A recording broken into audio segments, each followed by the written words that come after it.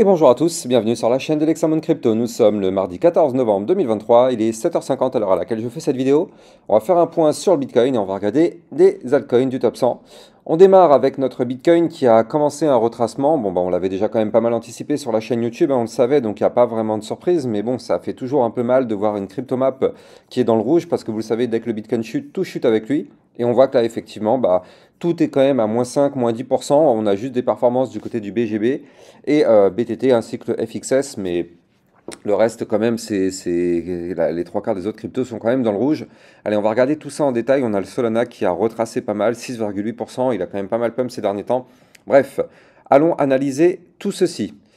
Euh, avant de commencer l'analyse technique, on va jeter un petit coup d'œil vite fait au calendrier économique. Donc là, aujourd'hui, on va avoir à 14h30 les indices de l'IPC. Donc ça, ça va être des indices assez importants concernant l'inflation, justement. Donc on va attendre ces indices-là qui risquent de faire euh, changer le, cours des marchés financiers. Potentiellement, hein, je rappelle que tout ce que je vais dire dans cette vidéo ne sont en aucun cas des conseils financiers. Mais si les indices sont plutôt intéressants, effectivement, il devrait y avoir des belles réactions. Si les indices sont mauvais, il devrait y avoir aussi une réaction. Si les indices ne bougent pas trop, bon bah, il se peut qu'il n'y ait aucune réaction. Mais en tout cas, il va falloir prendre ces indices vraiment avec précaution parce que là, ça risque d'être un petit peu dangereux euh, de ce côté-là. On va regarder tout ça tout à l'heure à 14h30. De toute façon, vous avez le lien hein, de la toolbox avec ce calendrier économique sur mon site internet. Vous avez ici l'onglet La toolbox, le calendrier économique. Vous avez le lien de mon site internet en description de vidéo. Allez, on démarre notre analyse technique sur le Bitcoin avec cette vue jour. Je rappelle hein, une nouvelle fois, tout ce que je vais dire dans cette vidéo ne sont en aucun cas des conseils financiers. Alors, vue jour, notre Bitcoin, on voit qu'on fait actuellement, donc, enfin, on a fait, pardon, un canal ascendant, vous le voyez ici.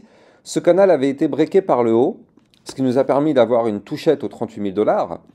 Et derrière, qu'est-ce qui s'est passé? Eh bien, on est venu faire quoi? Toucher le canal, revenir backtester, donc faire le pullback, on l'avait méga, méga, méga anticipé, ce pullback. Hein, franchement, c'est pas du tout une nouveauté. Je vous avais prévenu, je sais pas combien de fois, que là, on a breaké. On va revenir tester le niveau clé. On a breaké ce haut du canal. On revient, quoi qu'il arrive, le tester tôt ou tard. On revient le tester. Encore une fois, ça a payé. On a breaké. On a eu le pump. On revient tester ce haut du canal. Pour l'instant, ça tient. On arrive à consolider au-dessus du canal. Donc pour l'instant, ça va. Ce qu'il faudrait, c'est ne pas breaker ici avec une clôture jour les 36 669 et surtout ne pas breaker les 36 281 zones de support. Donc là, on est quand même sur deux beaux supports, le haut du canal étant une zone de support et juste en dessous ici on a un autre support. Bon, pour l'instant ça tient. On va voir combien de temps ça peut tenir comme ça. Si jamais on arrive à rebondir dessus, effectivement, bon bah dans ce cas-là, ce sera peut-être pour reprendre une phase haussière dans les prochains jours, prochaines semaines. Mais en tout cas, pour l'instant, tant que là, malheureusement, on tente la réintégration du canal, c'est peut-être un petit peu dangereux. Il va vraiment falloir se méfier euh, de ça. Parce que je rappelle que si on réintègre malheureusement le canal par le haut, eh ben dans l'idée, c'est pour aller chercher le bas du canal. Alors, ça ne voudra pas dire c'est pas parce que là, on va faire une chute potentielle pour aller chercher le bas du canal que ça y est, hein, on est passé euh, BR, c'est fini, c'est la fin du monde. Non, pas du tout. N'oublions pas que là, c'est un canal ascendant. Donc au pire des cas, même si jamais on va chercher le bas du canal, eh bien on reste dans un canal ascendant. Et si on est en bas du canal, c'est un support, on peut aussi parfaitement rebondir sur le canal et on va chercher le haut du canal par la suite. De toute façon, tant qu'on est dans ce canal ascendant, vous le voyez parfaitement, nous sommes en configuration haussière. Donc là, en vue jour, nous sommes en configuration haussière toujours. Même si on chute et qu'on revient tester ici le bas du canal aujourd'hui qui se trouve à 35 052, nous sommes en vue jour en tendance haussière. Maintenant, bien sûr, si cette tendance vient à être breakée, eh bien là, ça changera. Mais pour l'instant, on n'y est pas encore. Vous le voyez, ce sera ici le bas du canal qu'il faudra breaker pour inverser la vapeur. Mais pour l'instant, on n'y est pas encore. Donc là, qu'est-ce qu'on voit? Si jamais on arrive à rebondir effectivement sur le support et sur le haut du canal, eh bien, ça permet d'augmenter les probabilités de revenir tester les 37 028, qui est la prochaine résistance à récupérer. Et si on break cette résistance, on ira chercher la suivante au 37 444. Et si on break ça, eh bien, vous l'avez compris, on repart potentiellement en tendance haussière. Donc ça, c'est le scénario bullish, où là, on est là, on fait le pullback. Donc je reprends canal ascendant, cassure, pump, pullback. Hop, on rebondit sur le haut du canal, on va chercher les résistances et on décolle. Ça, c'est le scénario bullish. Maintenant, scénario bear, eh bien, cassure, pump, pullback. Le pullback n'arrive pas à sauvegarder le niveau qui a été breaké.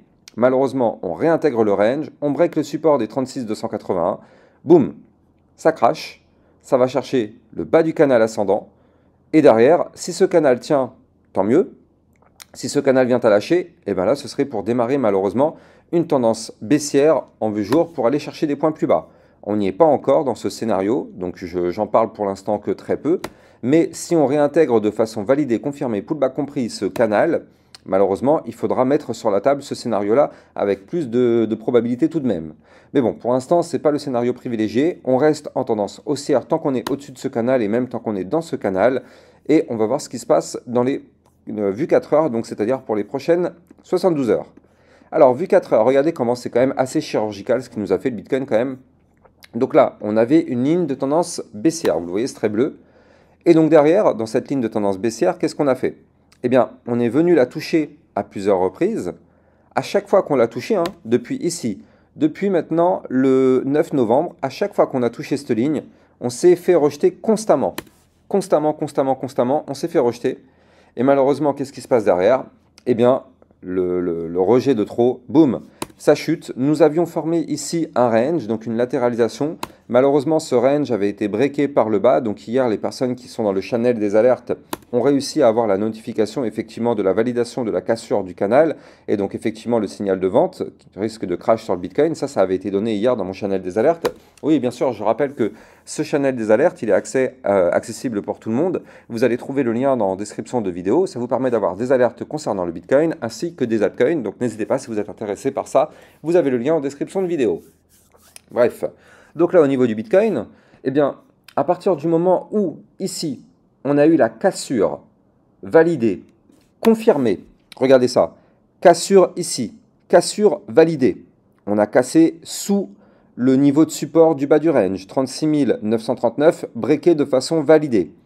Confirmé parce qu'on a été chercher un point bas plus bas que le, niveau de support, de, oui, de support. Donc cassure validée, confirmée. Maintenant, on a tenté le pullback, vous le voyez hein, parfaitement avec cette mèche qui est là. On a tenté le pullback, donc cassure validée, confirmée, on tente le pullback, on essaye de réintégrer le range, on se fait rejeter par la ligne de tendance baissière. Malheureusement, le pullback ne réintègre pas. Boum, pullback compris, non.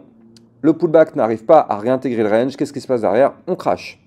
Vous avez compris l'importance de la notion validée, confirmée, pullback compris. C'est pour ça que tous les jours dans les vidéos, je suis peut-être le seul youtubeur à faire ça. Hein. Je suis le seul youtubeur à m'attarder à chaque fois sur des détails comme ça. Mais je sais que parmi vous, il y a pas mal de débutants qui ont du mal à comprendre effectivement toutes ces notions-là. Donc je préfère continuer de m'attarder pour justement continuer d'apprendre et éviter à tout le monde de faire des erreurs. Mais au moins, voilà, le but de mes vidéos, je rappelle que c'est aussi déjà purement éducatif à la base. Et en plus de ça, ça permet d'avoir effectivement les niveaux clés. Mais bon, là en tout cas, qu'est-ce qu'on veut voir?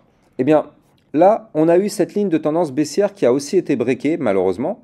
Et donc, là, nous, ce qu'on veut voir maintenant, c'est dans un premier temps, à minima, si on arrive à reprendre de la force haussière, à minima, ce qu'on veut voir, c'est ici une réintégration du range par le bas, donc c'est-à-dire une clôture en vue 4 heures, validée, confirmée, bas compris, au-dessus des 36 939. Si on fait ça, effectivement, ça pourrait être intéressant parce que ça voudrait dire qu'on pourrait remonter pour aller chercher ici la résistance des 37 028 et pourquoi pas le haut du range si on arrive à réintégrer le range par le bas. Malheureusement, pour l'instant, vous le voyez parfaitement, on forme des plus hauts qui sont de plus en plus bas et potentiellement, pour l'instant, ce n'est pas encore le cas, hein, mais potentiellement des points bas plus bas que les précédents. Regardez, ici, on forme des points bas, mais là, par contre, ce point bas qu'on a formé ici, n'est pas encore pour le moment plus bas que son précédent. Donc là, la, tendance baissière en vue 4 heures, elle y est, hein. mais tant qu'on ne break pas le dernier plus bas, c'est-à-dire ici les 36 386, entre guillemets, ça va, il y a l'espoir. Par contre, si on fait un point bas plus bas que celui-ci, et eh bien là, par contre, bien sûr, effectivement, vous l'avez compris, ce serait sûrement pour prolonger le retracement. De toute façon, il n'y a aucune surprise. Ce retracement, on l'a quand même pas mal anticipé. Je vous ai dit un milliard de fois qu'après le gros pump qu'on a connu, ce serait normal qu'on ait un retracement. Donc là, on est dedans, il n'y a pas de souci. Maintenant, voilà. On espère non plus que le retracement ne va pas être trop trop trop violent. Pour l'instant, ça a l'air de tenir. Est-ce que le retracement, c'était juste cette petite phase qu'on voit là? Eh bien, on verra bien. Hein. En tout cas, les supports clés ont été donnés. Il ne faut pas les breaker. Si on les break, vous avez compris, on risque d'aller chercher les supports d'après. Allez, on va taper maintenant sur les cryptos du top 100. Donc on démarre avec notre XRP qui pour l'instant tient parfaitement bien son support. Hein. Regardez, hier encore on est revenu faire une touchette du support. Donc les 0,6387, pour l'instant ça tient, ça a l'air d'être du béton ce niveau de support, donc tant mieux, tant mieux, hein. pour tous ceux qui ont du XRP, tant mieux. Par contre si ce support vient à lâcher, avec une clôture jour validée, confirmée, pullback compris en dessous, bah malheureusement, hein, ce sera pour aller taper les 0,6173, puis 0,5856. Donc vous l'avez compris, ne pas perdre ce support. Maintenant, si on veut du pump, on n'a pas le choix. Il faut breaker de façon validée, confirmée, pullback compris en vue jour. Les 0,7147. Pour l'instant, on démarre une petite latéralisation ici. On verra bien où est-ce que ça va euh, breaker. De toute façon, vous le savez, sur ma chaîne YouTube, je vous fais plusieurs vidéos par jour. Vous aurez, quoi qu'il arrive, les informations quand il y aura du changement. Alors, l'Ethereum. L'Ethereum, c'est pas mal. Hein. C'est pas mal. Il a fait son très joli pump ici. Puis derrière, il a été tapé son support des 2018 dollars. Pour l'instant, ça tient.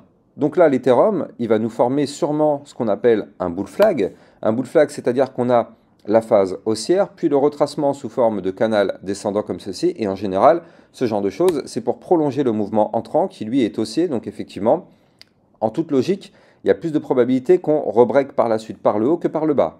Néanmoins, mettons les points sur les i, si jamais on break de façon validée, confirmée, pullback compris les 2018 en vue jour, là vous l'avez compris, hein, ça invalide complètement ce potentiel pump, parce que là, ce serait pour aller chercher les supports des 1937 dollars, voire même plus bas. Donc attention à ça, et je rappelle, hein, tout suit le Bitcoin, depuis 2-3 jours, le Bitcoin perd de force, en force, donc du coup, forcément, tout suit et on voit des, des, des, qui chutent. Le Shiba, le Shiba, qu'est-ce qu'il fait? Bon, bah, le Shiba, pour l'instant, en vieux jour, ça va encore. Hein, regardez, on est toujours dans une belle tendance haussière. On fait des points hauts toujours de plus en plus hauts.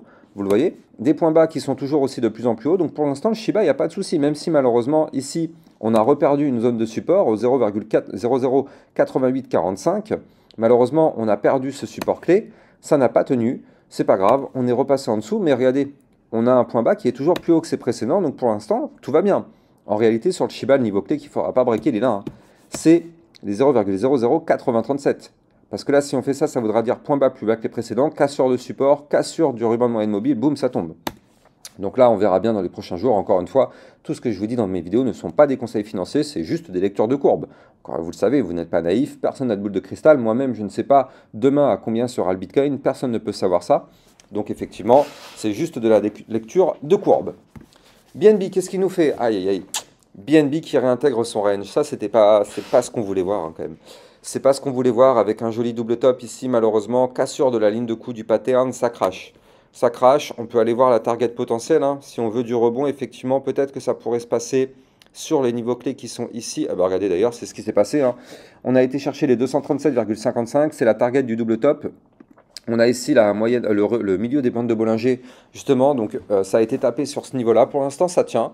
Donc, si on arrive à rebondir dessus, bah, effectivement, on pourrait remonter, pourquoi pas un petit peu. Si malheureusement ce niveau-là vient à lâcher, eh bien, bien sûr, ce sera pour aller chercher, malheureusement, le bas du range au 229,95. Atom Cosmos, qui pour l'instant... Ah, il nous a fait une belle tentative hier quand même. Hein. Regardez, il a fait une belle tentative de cassure du range par le haut. Malheureusement, bah, le Bitcoin a décidé de chuter hier, donc bah, c'est le jeu. Hein. Le Bitcoin a décidé de chuter, donc du coup, l'Atom Cosmos n'a pas réussi à valider son breakout. C'est dommage. D'ailleurs, J'en profite, n'hésitez pas à me dire en commentaire de vidéo, ce soir je vais vous faire une vidéo aux alentours de 18h je pense, quelle vidéo vous voulez, enfin quelle euh, crypto vous voulez que je vous analyse? Mettez-le moi en commentaire, comme ça je ferai ma vidéo aux alentours des 18h ce soir. N'oubliez pas aussi au passage de liker, commenter, partager au maximum les vidéos, ça participe grandement au référencement de ma chaîne YouTube. Bref, l'Atom Cosmos, on aurait pu assister à un joli breakout ici. Il aurait fallu qu'on break de façon validée, confirmée, bas compris les 9,955. Malheureusement, vous le voyez, on a fait une tentative, mais au final, on a clôturé dans le range, et même pire que ça, dans le range, et en plus de ça, sous la zone de résistance des 9,606. Donc là, vous l'avez compris, pour pump, il faut qu'on break de façon validée, confirmée, bas compris les 9,606, voire même le haut du range au 9,955 pour qu'on puisse effectivement aller chercher des points plus hauts. Si malheureusement par contre on perd le support des 9,068, là vous l'avez compris, ce serait pour retracer un peu plus violemment. Donc attention à ça. Chainlink, Chainlink qui a perdu hier un support clé. Hein. On va pas se mentir, attention. Hier, on a perdu les 14,541. Vous le voyez ici, cette ligne-là qui est là, c'était le support. Donc là, on est en train de faire le pullback. On va voir, hein. si on clôture la journée au-dessus, ça invalide la cassure. Si malheureusement on clôture en dessous, et eh bien du coup malheureusement, ce serait pour aller chercher des points plus bas. Zone de support 13,722, puis 12,400, puis 11,461. Ces niveaux-là seront des niveaux potentiels de rechute si jamais le link n'arrive malheureusement pas à repasser au-dessus de sa résistance. Par contre, si on veut du pump, il faut à minima breaker de façon validée confirmée pullback compris vu jour les 15,277. Solana, ça va. Disons que ça va encore. On a fait du pump, on retrace ce qui est tout à fait normal et logique après un pump, et qu'est-ce qu'on voit là? Un bull flag. Donc pour l'instant sur le Solana, tant qu'on est au-dessus des 50,742, tout va bien, c'est le support. Donc pour l'instant on est au-dessus, ça va. Si malheureusement ce support vient à lâcher, bon bah vous l'avez compris, hein, ça annule complètement la, potentielle nouvelle hausse qu'on pourrait avoir malheureusement pour retracer encore plus fort, pour aller chercher les 44,832 voire même les 39,293. Par contre, si on arrive à breaker la résistance des 56,307, eh bien là, on pourrait se relancer un peu sur le Solana hein, et continuer d'aller chercher des points plus hauts. Donc effectivement, on va suivre ça de très très près. Et on termine sur le Matic. Le Matic qui, lui, par contre, lui, il s'en fout de ce qui se passe. Lui, il continue de pump, vous le voyez, en formant des points hauts de plus en plus haut à chaque fois, des points bas de plus en plus haut. Donc le Matic, lui, il n'y a aucun problème. Aucun problème sur le Matic. Je regardais en vue semaine quand même pour voir un petit peu. Et ouais, il a quand même pas mal décollé ces derniers temps suite à un gros double bottom. Bref, Polygonmatique, là on arrive sur résistance, je vais la dessiner d'ailleurs. Là on a la résistance qui est ici au 0,9406. Donc ça c'est le niveau clé qu'il va falloir qu'on break si effectivement on veut poursuivre la hausse. Si on break ce niveau, on ira chercher la moyenne mobile 200 périodes en vue semaine à 0,9809. Puis pourquoi pas atteindre le 1$ symbolique à 1,0525 qui sera une énorme, juste gigantesque résistance. Par contre, regardez en vue très long terme. Juste, je vais en parler quand même. En vue très long terme, regardez ce qu'on voit sur le polygonmatique. On voit ici un gigantesque premier bottom, deuxième bottom. Donc là, il faudrait qu'on arrive à breaker ici la ligne de coup dans les prochaines semaines des 1,4789 pour avoir droit potentiellement un très magnifique pump. On n'y est pas encore, mais franchement, d'ailleurs, je vais me mettre une petite alerte parce que franchement, ça, ce sera juste incroyable s'il le fait. Bref, on verra ça de toute façon dans les prochains mois, on n'y est vraiment pas du tout. Donc, affaire à suivre. Quant à moi, j'ai plus qu'à vous souhaiter une excellente journée. N'oubliez pas de liker, commenter, partager au maximum. Et je vous dis à tout à l'heure, 18h environ, à peu près par là. Euh, même peut-être 18h30 selon l'heure à laquelle je vais finir le travail. Allez, passez une excellente journée, à tout à l'heure. Ciao, ciao